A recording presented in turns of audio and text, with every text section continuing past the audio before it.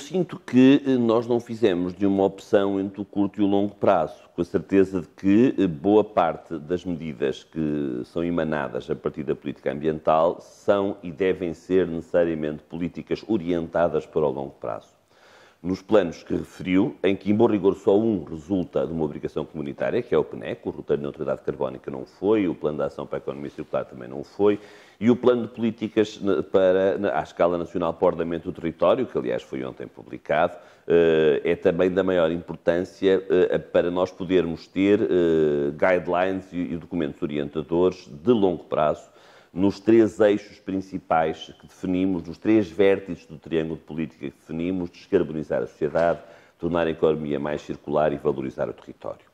Eh, é mesmo preciso, em meu entender, e ele começa a surgir, e não é só por parte do governo, eh, um novo discurso em torno das políticas ambientais que, orientado para uma sociedade muito mais descarbonizada, eh, essa mesma sociedade mais descarbonizada só conseguirá promover uma transição completa e justa se em simultâneo desenvolver um modelo de economia circular e se valorizar cada parcela do território, a sua biodiversidade e as enormes diferenças que num país como Portugal existem. Diferenças de território, diferenças de paisagem.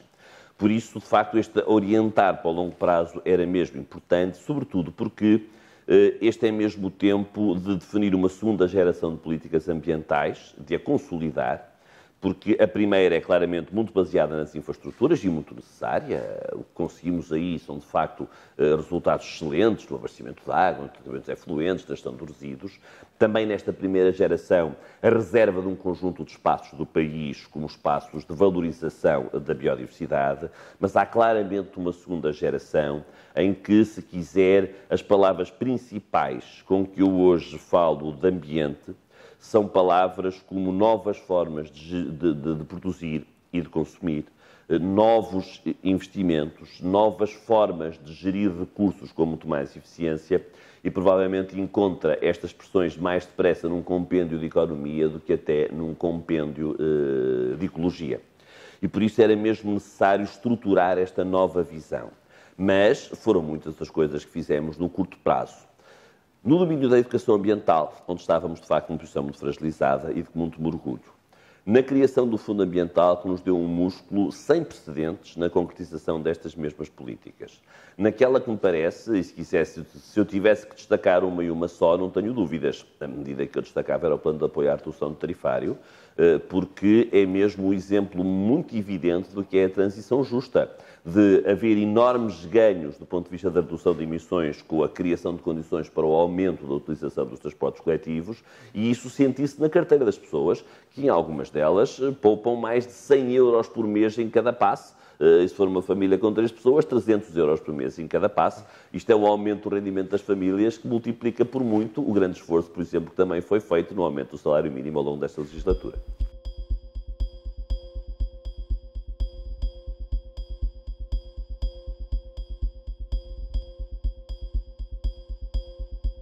Eu direi que, que, os dois setores onde há aqui uma aposta de maior dimensão são uh, no setor eletroprodutor e na mobilidade. E onde manifestamente uh, as dificuldades serão sempre maiores, ainda que pareça haver um engajamento cidadão cada vez maior, é quando nós estamos a falar de mudança de comportamento por parte das pessoas. O que é que eu quero dizer com isto? Portugal estou mesmo convencido que vai atingir a meta de 80% de produção de eletricidade a partir de fontes renováveis a partir de, em 2030. Porquê? Estamos a falar de empresas a investir e de criar condições de estabilidade ao investimento e regulatório a essas mesmas empresas. E por isso é muito uma relação business to business, eh, se é que, enfim, imaginando aqui que o, o, o, Governo e o Estado são também não exatamente um agente de mercado, mas um promotor uh, de opções uh, desse próprio mercado. Quando estamos a falar da mobilidade, onde o desafio é também igualmente grande, estamos a falar no comportamento de cada um de nós. Eu não tenho carro, não lhe pergunto como é que veio para aqui, não vou fazer essa marotice. Uh, estamos mesmo a falar de uma forma diferente de, de fazermos as coisas. E, evidentemente, isto não se faz por decreto, eh, tem que ter aceitação popular. Numa democracia, e não imagino outra forma de gerir um país, numa democracia uh, com liberdade de opção, uh, será sempre mais complexo. Mas eu quero mesmo acreditar que este é também o tempo da disrupção no domínio da mobilidade.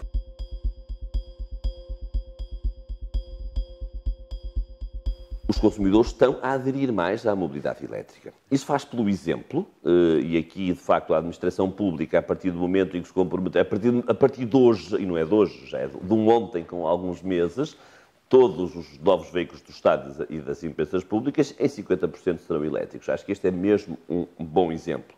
Mas, obviamente, que o sistema de incentivos que temos hoje é um sistema de incentivos que tem que se manter no futuro para garantir esta transição.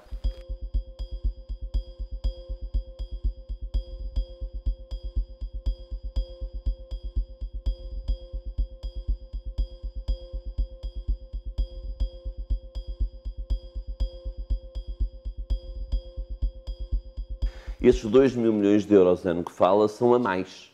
Eh, para além daquilo que já estamos a fazer, eu direi que se não houvesse roteiro, nós chegaríamos a 2050 com menos 60% das emissões que hoje temos. Nós temos que chegar com quase menos 90% das emissões para podermos cumprir a nossa meta.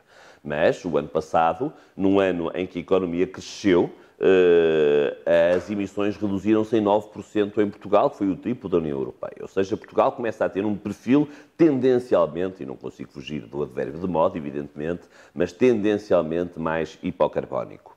Eh, deste investimento que eu falo, ou do que falou, e que eu repito, dos 2 mil milhões de euros, estamos a falar sobretudo de investimento das empresas e das famílias. Isto passa por, essencialmente, três coisas. Em primeiro lugar, obviamente, uma vontade cidadã, que eu acredito que é cada vez mais consolidada passa por orientar aquilo que são os fundos comunitários, enfim, os investimentos que são financiados através do BEI, que não deixam de ser fundos comunitários, ainda com um perfil diferente, para cada vez mais eh, apostarem naquilo que é a adaptação climática e passam, sobretudo, por eh, aqueles que são comumente os financiadores da economia, que é a banca comercial, eh, perceberem que este é o desejo dos seus clientes e perceberem que podem ter, afinal, um risco muito menor se fizerem eh, ou se conseguirem ter um portfólio cada vez maior de investimentos verdes, ao contrário dos investimentos castanhos ou cinzentos.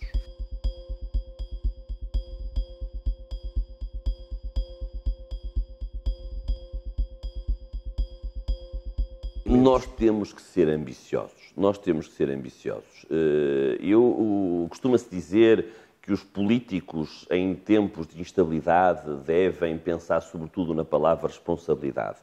Ora, eu não conheço nenhum momento da história moderna, e estou-me a referir, se quiser, desde 1789 para cá e da tomada da Bastilha, em que se tenha dito que tivemos um período que não era de preocupação na história. Esses períodos sucedem-se e suceder-se-ão sempre.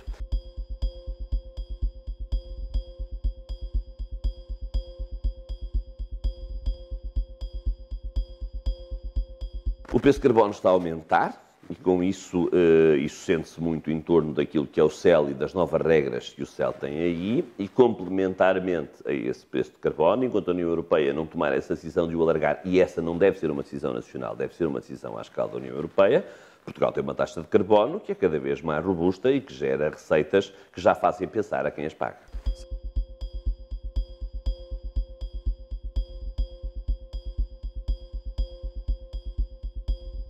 Acordo de Paris é uh, uma base estupenda para esse Green New Deal. Até porque, uh, e é muito assim que eu também entendo as coisas, uh, eu acho que o projeto político que este governo tem no domínio, por exemplo, do combate às alterações climáticas, é um projeto político muito positivo não é o de nos transformarmos de repente em alguém que prescinde de tudo aquilo que lhe dá conforto em prol de um bem maior, que é o bem ambiental. Não, não é mesmo isso. É acreditarmos que somos capazes de ter uma economia a crescer, mas uma economia hipocarbónica e regeneradora de recursos, que vai manter o nosso grau de bem-estar, ou preferencialmente aumentar o nosso grau de bem-estar, sem eh, reduzindo muito as emissões carbónicas e regenerando recursos. Portanto, é mesmo esta a nossa aposta. E por isso isto é mesmo um Green New Deal, no sentido em que estamos a falar de negócio, estamos a falar de investimento, não de custo, mas de investimento eh, e, simultaneamente, investimento cada vez mais voltado, cada vez mais voltado para aquilo que é a, capacidade que nós, como espécie humana e a economia que criamos, caber dentro dos limites naturais do nosso planeta.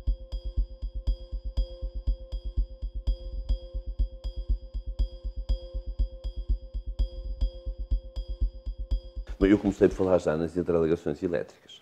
Uh, essas interligações elétricas serão particularmente favoráveis a países como Portugal. O que é que eu quero dizer com isto? Portugal tem mesmo condições naturais, água, uh, vento e sol, para ser completamente independente na produção de eletricidade, podemos produzir mais de 100% daquilo que consumimos e essas interligações são fundamentais para continuemos a exportar a eletricidade produzida a partir de fontes renováveis para o centro da Europa.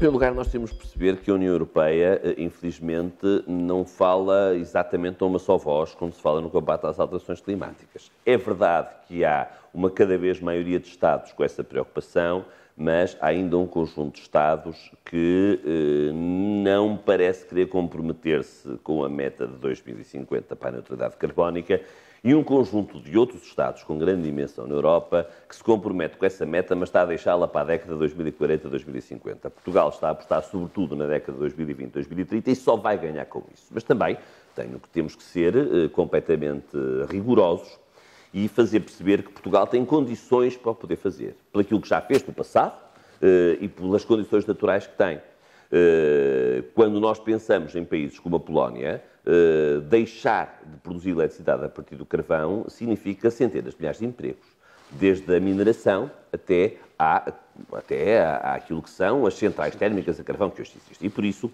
eu acho que o próximo ciclo de fundos da União Europeia tem que perceber também esta heterogeneidade das condições de base na Europa e perceber que tem que, de facto, dar uma ajuda para a transição justa nesses mesmos países.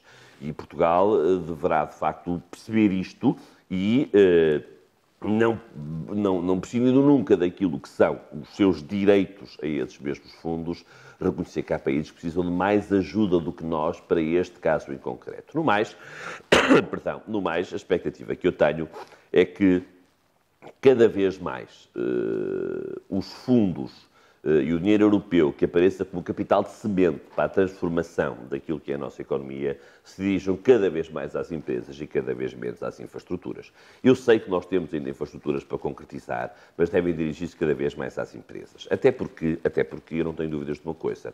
Nós, para atingirmos a neutralidade carbónica, temos que nos eletrificar cada vez mais e é uh, impensável nós conseguirmos uma transição justa e que não provoque o risco de uma maior pobreza energética se não reduzirmos o preço da eletricidade. Sim, nós temos que reduzir o preço da eletricidade. E nesse aspecto, acho que já foi provada a saciedade com aquilo que é o resultado do leilão do solar de que falou no início desta, desta entrevista, porque de facto produzir eletricidade a partir de fontes renováveis é muito mais barato do que produzir eletricidade a partir de, de fontes térmicas, ou melhor, uh, para ser mais rigoroso, a partir da importação de combustíveis fósseis.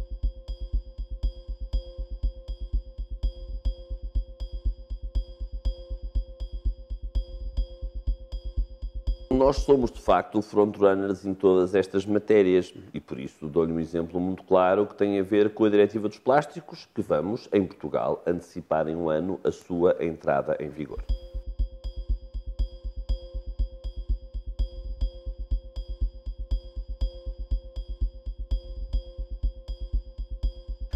Ontem foi aprovado em Conselho de Ministros, naturalmente terá que ser ratificado pelo Presidente da República, assim estimamos que o seja, e depois publicado o decreto-lei que cria, de facto, a existência de comunidades energéticas em Portugal.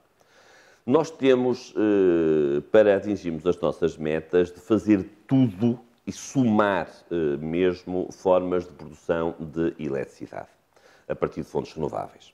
E por isso essas comunidades energéticas são da maior relevância. Pensadas, e se elas são imaginadas em primeiro lugar, essencialmente para condomínios ou para bairros, eu, para ser completamente transparente, onde eu tenho uma maior expectativa de que essas comunidades energéticas possam vingar, é mesmo nas zonas industriais. Até porque, quando estamos a falar das zonas industriais, não só estamos a falar, e muitas vezes, de grandes coberturas, de facto, para a produção de eletricidade a partir da fonte solar, mas estamos a, a as nossas comunidades energéticas são agnósticas relativamente àquilo que são eh, as opções tecnológicas na produção de eletricidade, desde que a partir de fontes renováveis. Ou seja, A combinação do solar com o eólico, com a biomassa, a capacidade, por exemplo, numa zona industrial de produzir ou de ter centrais de armazenagem desta mesma eletricidade produzida é de facto muito grande.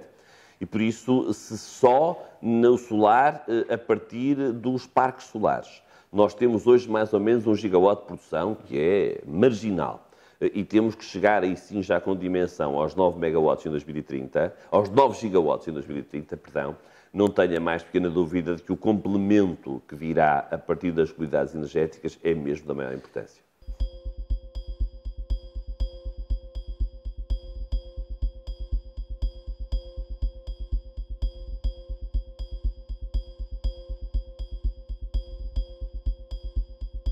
Nós estamos muito longe desse dia. Nós estamos muito longe desse dia.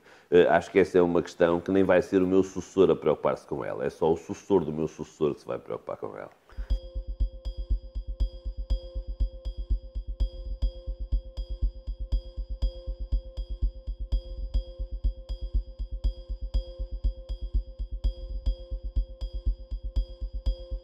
Vamos lá ver. Uh, estava a fazer uma entrevista com o ministro e agora mudou muito a agulha.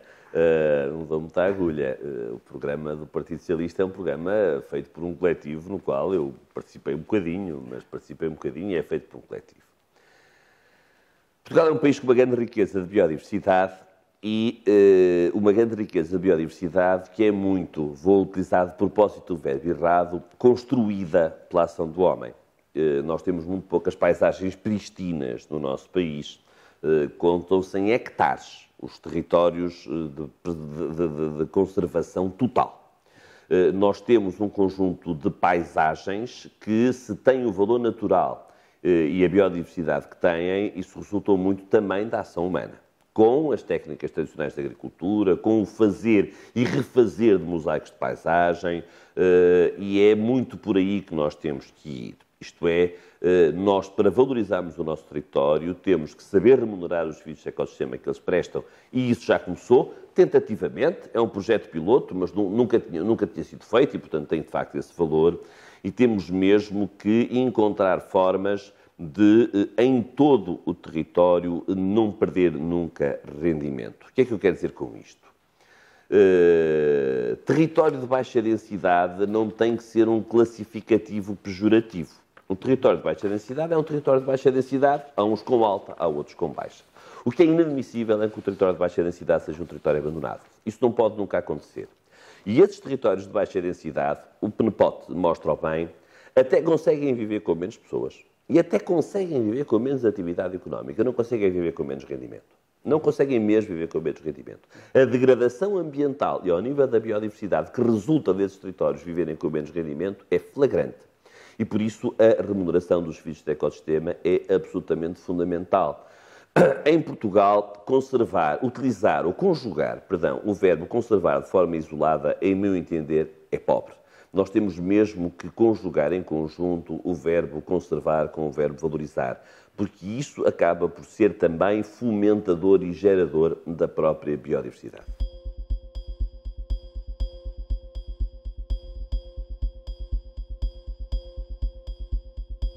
Quando nós falamos das alterações climáticas, é de facto muito mais evidente, muito mais evidente uh, o grau de compromisso que cada país tem que ter com o mundo, porque este é mesmo o tipo de país que nenhum, é o tipo de problema que nenhum país resolve sozinho. Quando falamos da biodiversidade, eu direi que é normal que um país possa ter mais liberdade para poder fazer as suas opções. Agora, eu não tenho a mais pequena dúvida disso no início. Assim como não vamos ter um mundo livre de carbono, se não tivermos um modelo mais circular, nós não vamos ter um mundo de economia mais circular, nós não vamos ter um mundo livre de carbono, se não valorizarmos, de facto, todas as parcelas do território, maiormente do território rural, onde se concentra essencialmente a biodiversidade que fala, por razões uh, múltiplas. A primeira tem, se quiser, até, olha, quase contabilística. Uh, nós temos que ter um sumidor de carbono robusto que compensa as emissões que continuaremos a ter. A segunda, porque de facto, uh, quando a espécie humana ganha no planeta a relevância que tem e não há precedentes na história do próprio planeta de uma só espécie, seja ela qual for, neste caso a espécie humana, ter esta relevância, nós temos que perceber bem que esta casa não é só nossa. E eu dou-lhe um exemplo muito claro naquilo que é, por exemplo, a gestão dos recursos hídricos. eh, mal faremos, muito mal faremos, se acharmos que a água é só para nosso uso e, nomeadamente, multiplicarmos a existência de barragens. Não. A água é dos ecossistemas e nesses ecossistemas vivem muito mais espécies do que a espécie humana.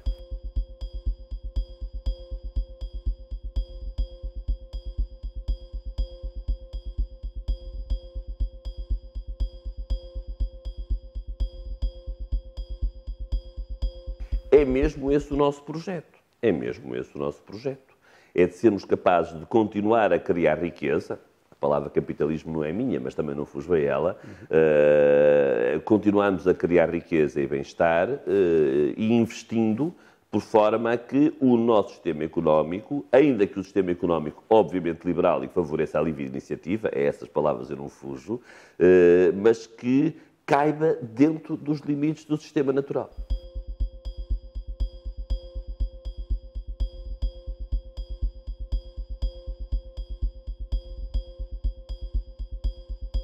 Uh, indo agora sim ao programa eleitoral do Partido Socialista, uh, há uma frase que eu considero muito feliz, uma ideia que considero nuclear, que é do ir transformando os impostos que existem sobre o trabalho em impostos, tendencialmente, em impostos sobre uh, a utilização de matérias primárias e sobre o carbono. E essa é, de facto, uma nova forma de poder gerar receitas fiscais. Quando fala da mobilidade propriamente dita, embora não a tenha referido, eu não tenho dúvidas nenhumas que os impostos vão ser pagos ao quilómetro. Isto é, nós vamos ter, e não é certamente para o próximo ciclo, porque ainda não se vai colocar durante os próximos quatro anos de legislatura, admitindo que a legislatura correrá com normalidade e durará esses quatro anos, que o problema se vai colocar. Mas a prazo, a prazo, aquilo que nós vamos estar, obviamente, a taxar é a ocupação do espaço durante essa mesma mobilidade.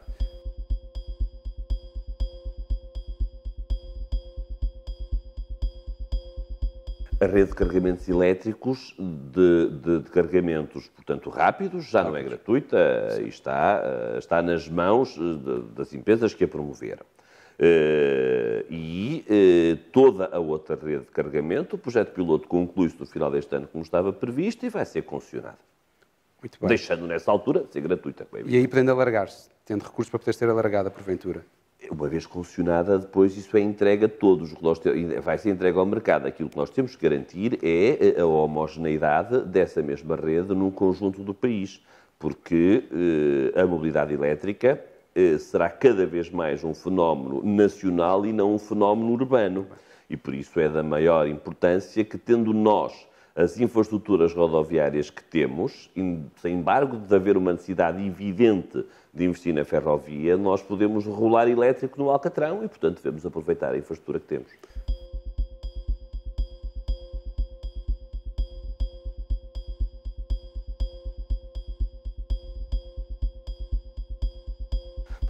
Que isso não é um fenómeno que se possa pôr à escala nacional. Há alguns sítios no Sueste onde isso acontece, as regras existem não é? e vão agora começar a ser cumpridas, nomeadamente colocando pórticos onde a autocaravana ou passa ou não passa.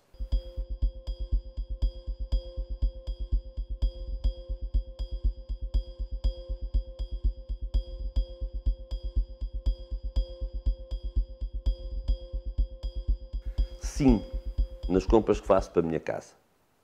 Eh, eu confesso que só como ministro é que percebi que eu sou mesmo o responsável por todas, todas as embalagens que entram em minha casa. Uh, e porque não posso ter a expectativa de que os sistemas públicos, neste caso municipais, uh, façam a melhor gestão dessas mesmas embalagens, eu de facto passei a ter muito mais cuidado com isso. Eu cozinho pouco, mas cozinho. Dava-me imenso jeito de comprar, por exemplo, aquela cebola já congelada e aos cubinhos. Deixei de a comprar e passei a comprar cebolas, cebolas.